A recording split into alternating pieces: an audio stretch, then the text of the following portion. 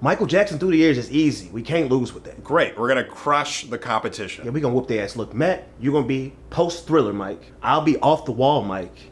And Caleb, you'll be you'll you'll be Jackson Five Mike. Oh no, I. Why? You're very youthful and fun, man, like a young Mike. I can see you running through a hotel.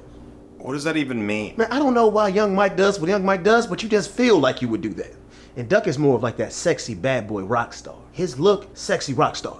Your look, young Michael Jackson. And then Josh is gonna bring it home with that smooth, suave 80s style. off- I'm pretty sure Off the Wall came out in '79, right? Or what? What would I even wear? This. Absolutely not. You don't care about the contest! Mama say, mama sa, mama kusa. Okay, no blackface, but how about I do bubbles? Bubbles the monkey? That's that'll win. That's a winner. Shamona!